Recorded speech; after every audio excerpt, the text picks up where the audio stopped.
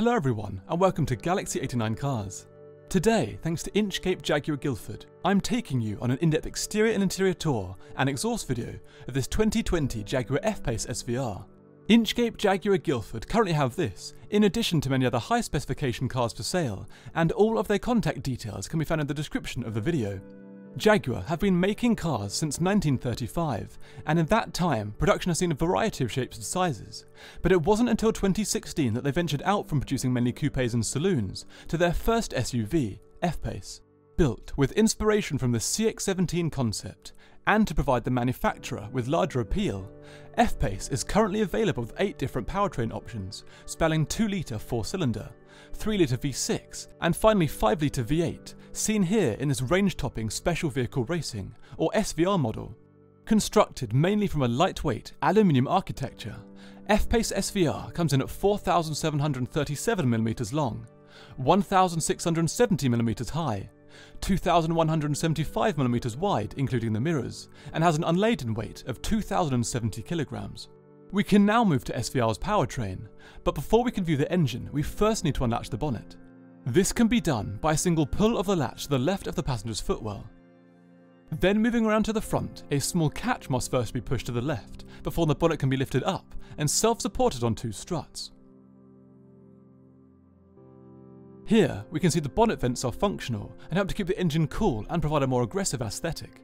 F-Pace SVR shares the F-Type SVR's engine, a front-mounted 5-litre supercharged V8 that produces 543 brake horsepower and 680 Nm of torque. This output produces a 0 to 62 mph or 100 km/h time of 4.3 seconds and goes on to a top speed of 173 mph or 283 km/h.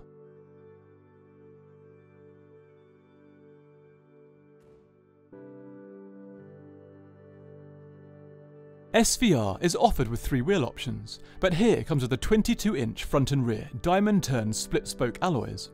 Braking is provided by 395mm front and rear discs. These have been enlarged by 45mm over the lower models. SVR still has spring coil suspension, as in the lower models, but they are now 30% stiffer at the front and 10% stiffer at the rear due to the harder springs. This suspension setup comes with Bilstein adaptive dampers to allow the driver to adjust the ride height to different driving conditions. SVR is of course all-wheel drive and is fitted with an adaptive surface response system that allows it to configure itself for different road surfaces.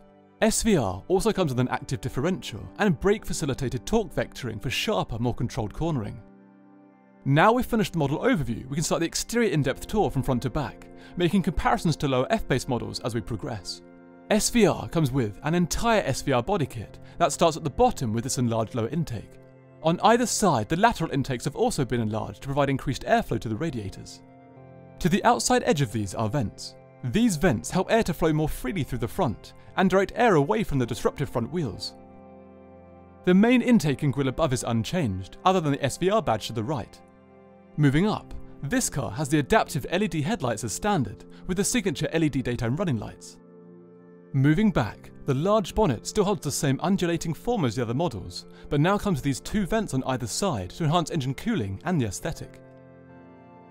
Behind this is the large, laid-back windscreen with two rain-sensing wipers below. Continuing back, SVR comes with this fixed panoramic sunroof and rails on each side as standard. We can now move to SVR's lateral aspect. At the bottom, there are extended side skirts and these air management channels at the front to control turbulent airflow coming off the front wheels. The front wheel arches have been extended and come with these large vents to help to release pressure and help to assist brake cooling. Moving up and back, we come to the unchanged electrically adjustable auto-dimming wing mirrors with integrated indicators and comfort lighting. Behind, the long door handles are also unchanged and come with dimples that indicate the car's keyless entry system. Continuing back and on the right side here, we come to the fuel tank flap. It can be opened and closed with just a light depress. SVR has an 82 litre fuel tank capacity and returns a combined MPG of 22.6. Moving back up to the roof, the only other feature before we can roll over to the rear of the car is the large shark's fin antenna. The rear of the lower models also comes with this rooftop spoiler, but in SVR it has been extended with a slim strip at the rear. In the middle of the wing, there's an integrated LED brake light strip, a standard feature across all F-Pace models. Moving down, the tinted rear window with its single wiper is also unchanged. Below this, but above the number plate, is the reversing camera from the Park Assist system, a standard feature here. Moving down, the LED rear light complexes hold the typical Jaguar form and wrap around the sides for enhanced visibility. Below these, the rear arches have been extended, and just as the front, come with vents to enhance airflow and reduce arch pressure. Underneath, the entire bumper has also been extended. It starts on either side with these air management channels. Centrally, there's an enlarged contrast diffuser. On either side are the exhaust surround areas, with two 95mm chrome tailpipes from the valve controlled system. Let's hear how SVR sounds, first with the valves closed and then open.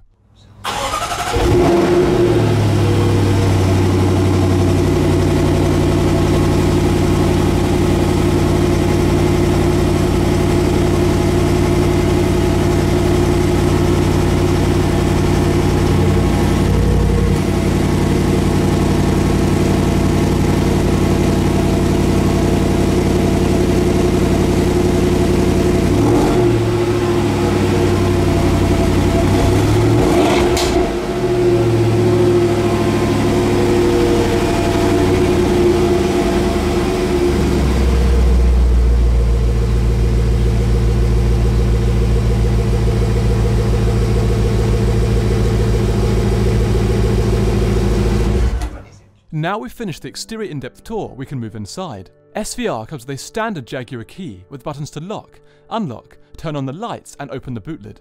Now moving to the inside of SVR, the large door handles are easy to locate and pull out, as are the doors. This car is upholstered in the two-tone light oyster and ebony lozenge quilted leather with these SVR performance seats and piano black veneer. Carbon and aluminium options are also available.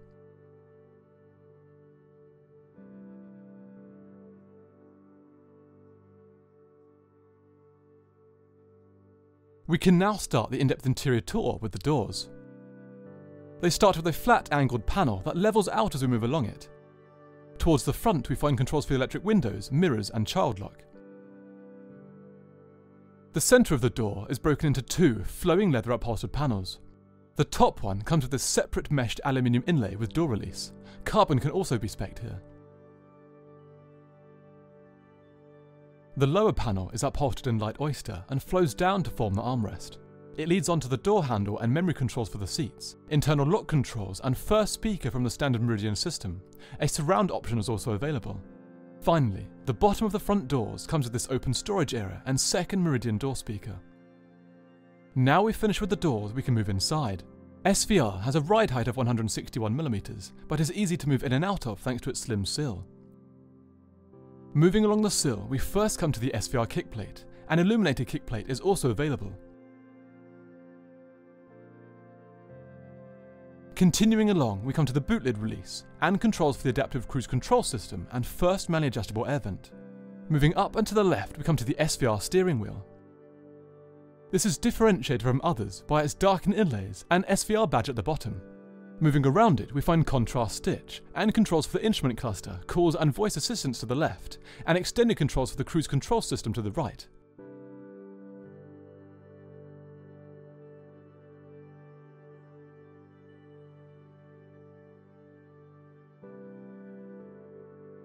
To turn the car on, the button to the right of the central column needs to be depressed.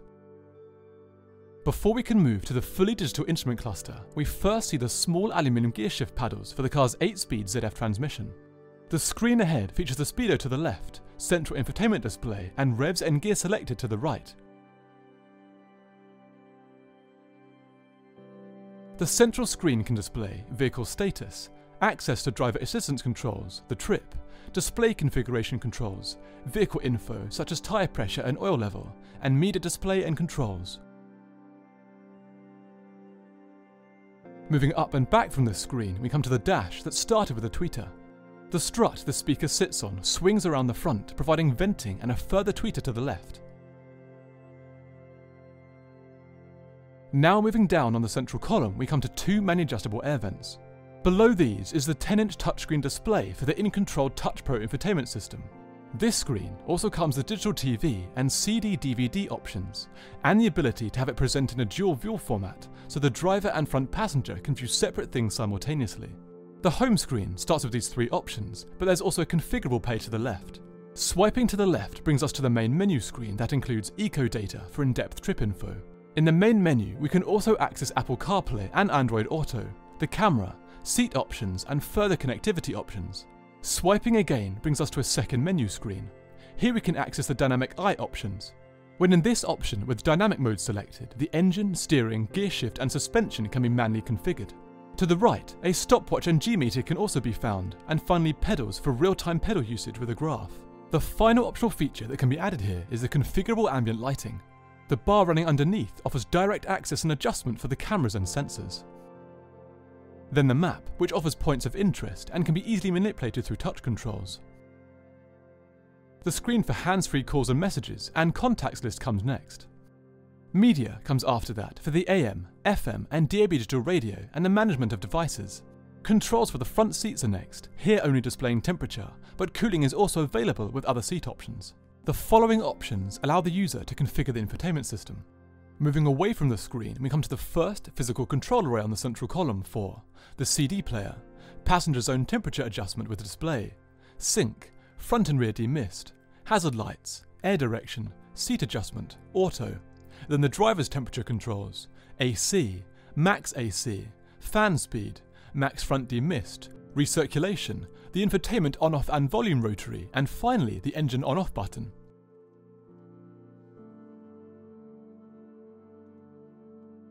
Below the button array is this small open storage area with a slip-proof floor.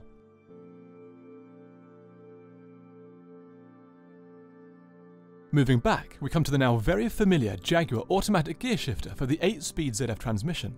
The gearbox can be left in full auto, but changing can also be done by using the paddles behind the wheel and by pushing this to the left for sequential shifting. There is a small line of buttons behind this for, from left to right, start stop, drive mode selection from ICE to dynamic, and to turn the traction control on or off. There are two features behind this, the first being this gloss black lid. It can be pushed back to reveal two large cup holders.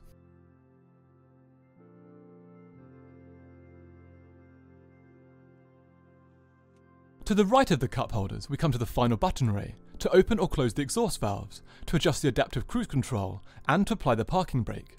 Continuing back, we come to the central column's final feature in the front, this large, leather upholstered armrest.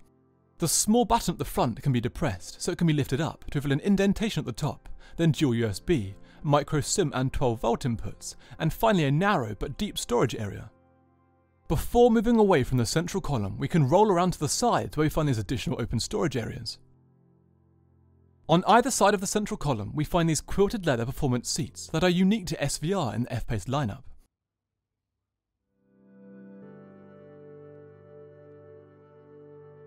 They feature model embossing on the headrests, and all movement controls can be found to the outside edge.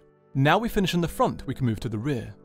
Unsurprisingly, the rear doors open up in the same way as the front doors, and on their insides come with the same aluminium mesh inlay surrounding the door release, single window control and small plastic door handle, open storage area and speaker at the bottom.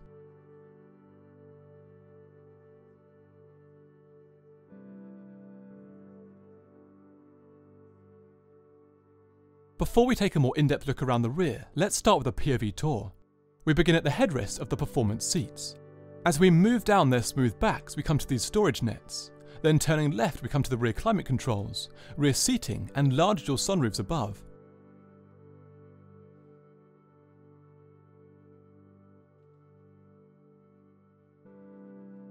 Now looking at these elements in more detail, we can start with the rear climate controls.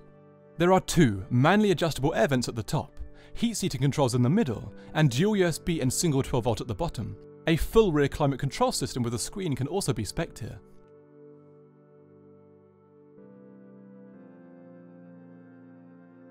The rear bench is comprised of two full seats either side of a central occasional seat. The main seats come with the quilted centre sections and side bolstering just as those in the front.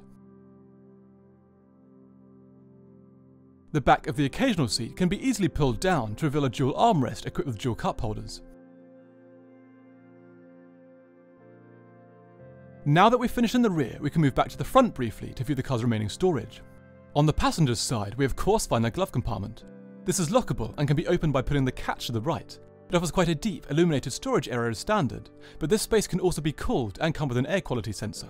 Moving around to the rear, the boot lid can be opened using the button inside, but also the button on the door itself and the key. In this configuration, the rear boot has a standard capacity of 385 litres, but this can be enhanced to 1290 litres with the rear seats folded down. Taking a closer look at this space, we find a small netted storage area to the left, liftable boot floor and foldable rear seats, with an access panel and hooks to the right. Looking down, the boot floor can be lifted up to reveal the spare wheel or extra capacity. After finishing in the rear, the boot lid can be auto-closed by depressing the button here. We can now move back inside briefly to view the car's final features. On either side, there are large sun visors with illuminated vanity mirrors. Moving centrally, we find a deployable sunglasses case, microphones for the hands-free system, service light, controls for the sunroof and sunshade, and SOS calls. Looking back, we can also get a better idea of how the panoramic sunroof looks from the front. Finally, there is a large, auto-dimming, seamless rearview mirror below. So that concludes my in-depth exterior and interior tour and exhaust video of this 2020 Jaguar F-Pace SVR. That's for sale with Inchcape Jaguar Guildford at the time of publishing. All of their contact details can be found in the description of the video. Please subscribe for the latest content, and until next time, thanks for watching.